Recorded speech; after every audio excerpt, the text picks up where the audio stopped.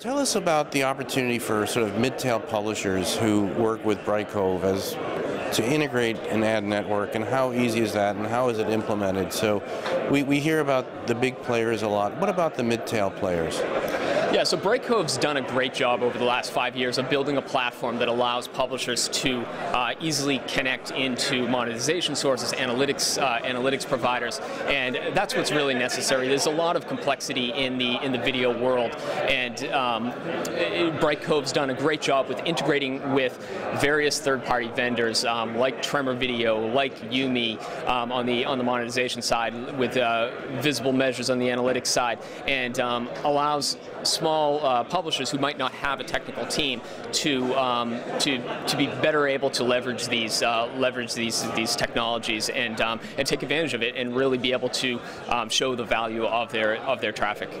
So how does that work for a publisher? Um, you know, in other words, can you select what sort of advertising you want? How much control does a publisher have about the ads that come through once they're hooked up with a network? Yeah, so this isn't necess necessarily specific to Brightcove, but a lot of times these these publishers will uh, create direct relationships with ad networks, and um, and it allows them to get these ads from these networks. These networks are able to sort of pick and choose the inventory they want, deliver the the most appropriate uh, campaigns to these publishers. Um, but by using a platform like Brightcove, it doesn't require the publisher to do any sort of technical heavy lifting, um, and allows them to, to to fully monetize their their their, traffic um, without having to um, do a lot of technical plumbing. So tell me about the uh, the media that's going in, pre-roll, overlay, in-stream, the kind of stuff that comes through the network, through the Brightcove player to publishers and around some of the economics around that uh, CPMS. Yeah, so we're still seeing we're still seeing a lot of uh, the majority of campaigns from agencies are still in the CPM world. Um, it takes a lot of time for uh, for the buyers to to sort of latch on to a new pricing model.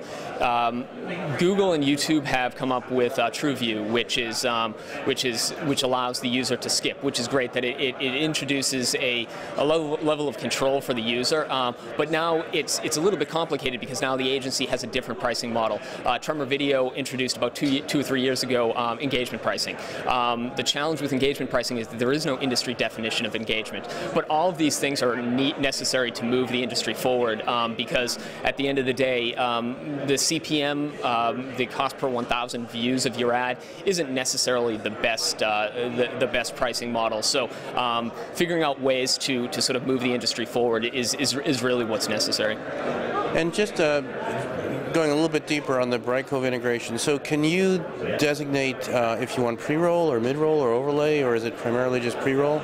Yeah, as a publisher, Brightcove provides a uh, an ad management UI so that you can pick and choose what works. Um, in my mind, what a publisher needs to use is data to understand not what works in in aggregate across every single publisher, or that I want pre-roll on all of my sports content, but starting to understand which types of users are engaging with an overlay, for example, or which types of users are best to serve a pre-roll in a mobile uh, mobile ad. And this requires data. This requires analytics. Um, so um, the industry demands this both on the buy side and the demand side, data that helps drive decisioning.